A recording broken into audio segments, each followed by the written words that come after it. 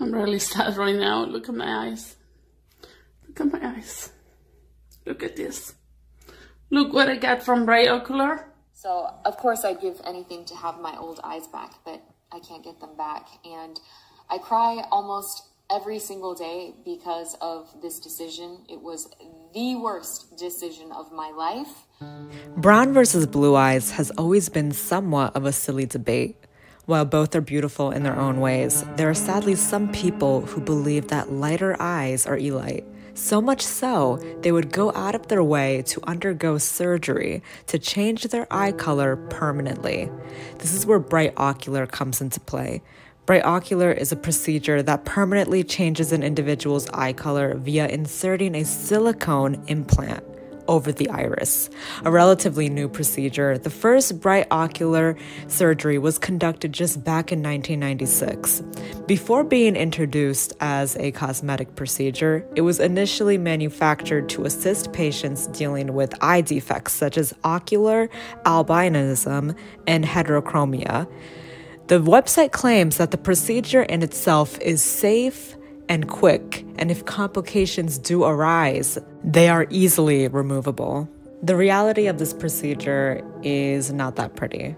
There are countless people online who are exposing the dark side of this seemingly simple procedure, which to this day is not approved in the US from the Food and Drug Administration, also known as the FDA.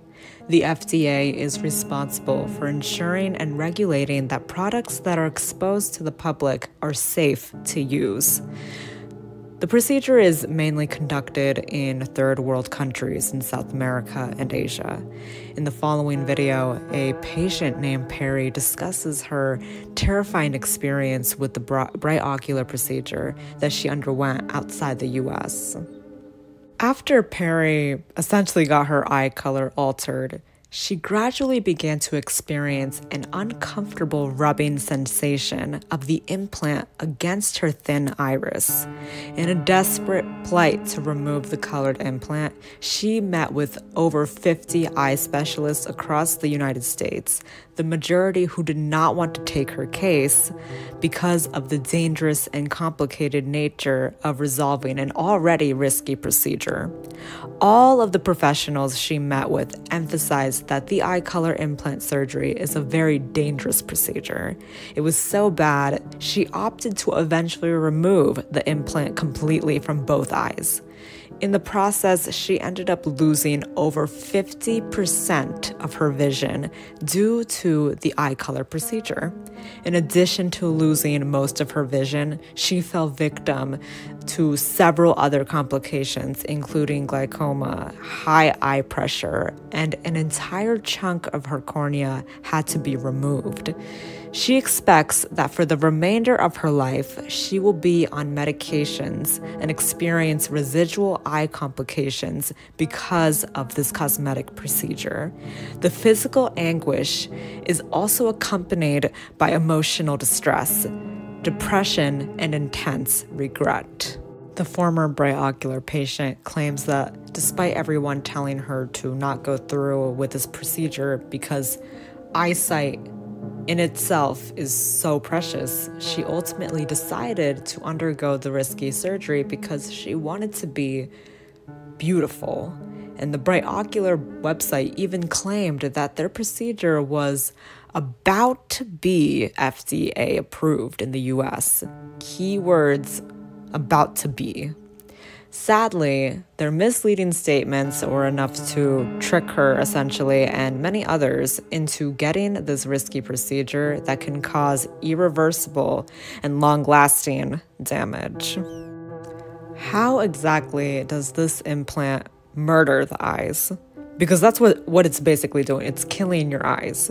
So, likened to sandpaper, it slowly grinds the surface of the eye Gradually, the pressure within the eye increases and has been described to feel similar to somebody squeezing and even stabbing the eyeball itself. This is exactly what another patient experienced, except in his case, he lost 100% of his vision in one eye.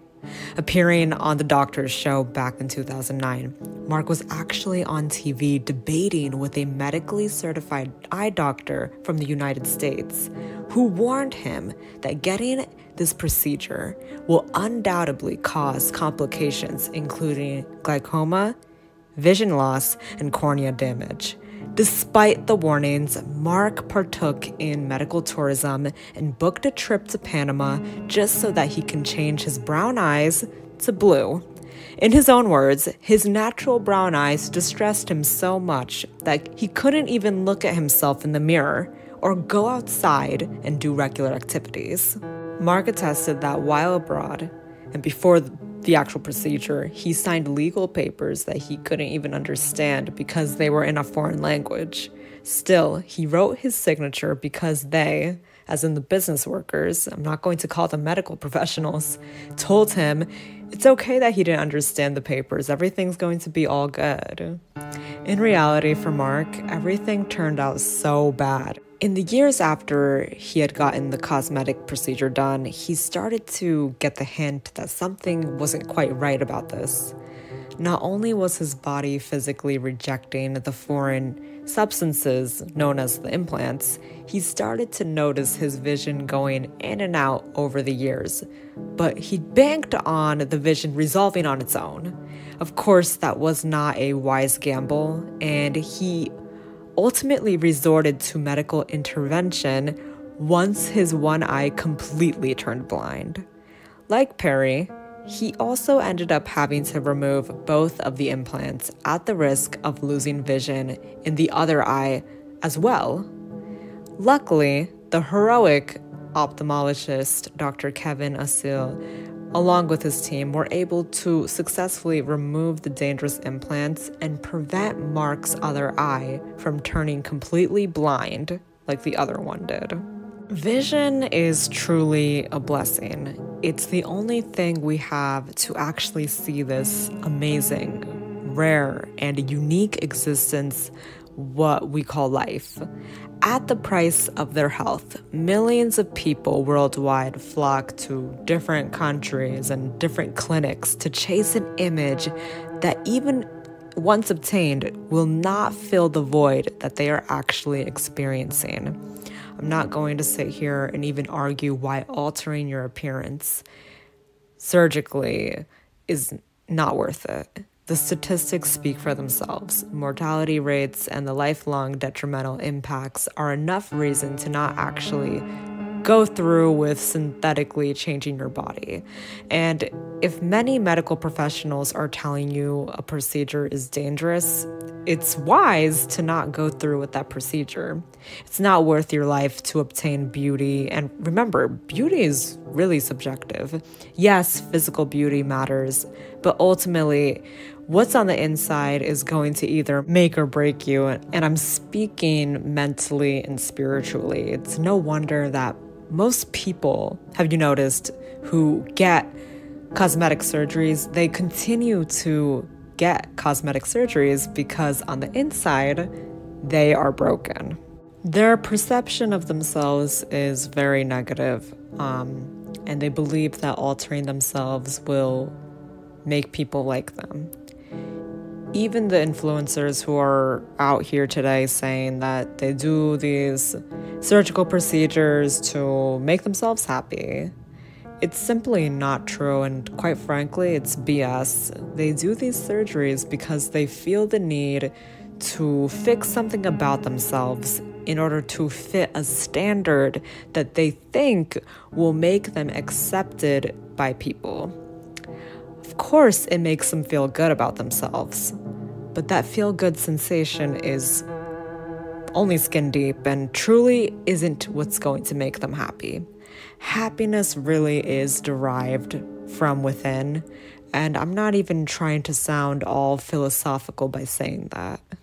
I just want to end on a note saying that these procedures, and I'm speaking mainly of cosmetic procedures, even if the foreign substances that they insert are successfully removed, the intrinsic damage will prevail and persist most likely till one ceases. And and I really just wanted to emphasize that like even even if um, a medical professional is able to you know assist you in removing these implants or whatever um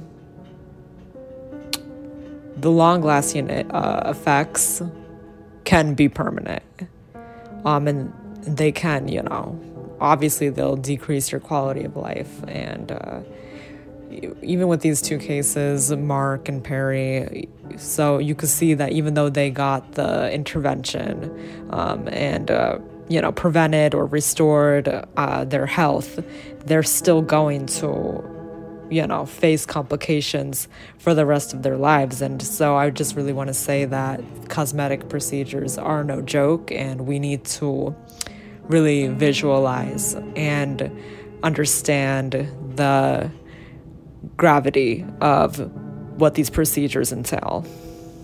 I hope you guys found this video informative, and please remember to like, share, and subscribe for more interesting content.